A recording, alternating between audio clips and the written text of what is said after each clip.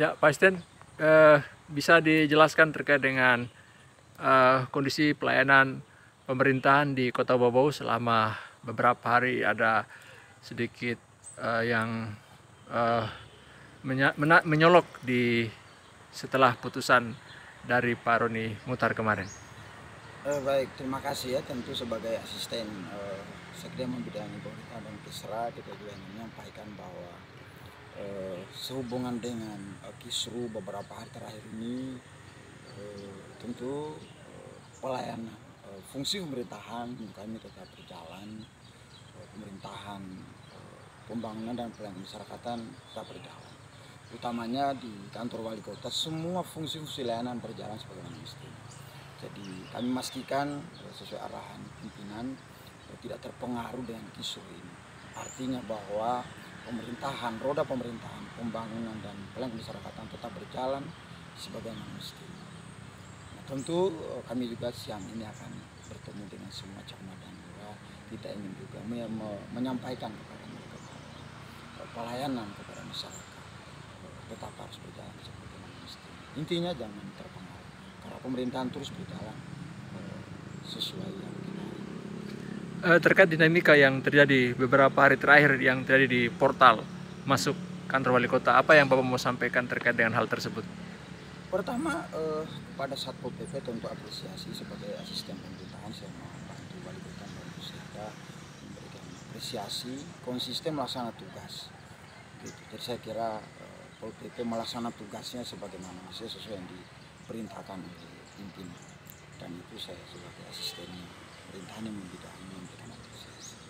Sudah bekerja sesuai prosedur. Ya, eh, kan tadi Pak Roni juga eh, berupaya masuk di kantor wali kota. Terkait dengan hal tersebut, apa yang Pak Asisten satu mau sampaikan?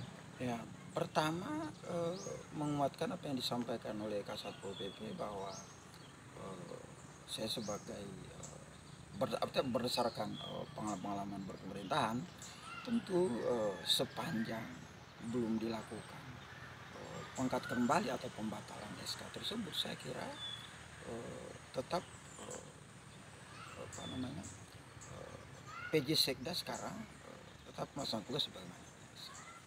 Begitu. Soal polemik hukum kita serahkan kepada eh, ahlinya kepada ahli-ahli hukum. Tapi kami berdasarkan pengalaman pemerintahan tentu sekali lagi pemerintahan eh, kami memastikan tetap berjalan sebagaimana mestinya. Eh, kan rencana siang ini Pak ya ada pertemuan dengan para camat dan lurah se Kota Bobau. Apa agendanya Pak? Eh, sebentar. Pertama untuk memastikan konsolidasi pelaksanaan tugas tugas camat dan lurah terutama camat selaku pembina wilayah di kecamatan masing-masing kita ingin memastikan kembali eh, bahwa semua berjalan sesuai dengan apa yang direncanakan dan kita juga ingin menanyakan kepada mereka apakah ada kendala misalnya utamanya dengan situasi kondisi kini.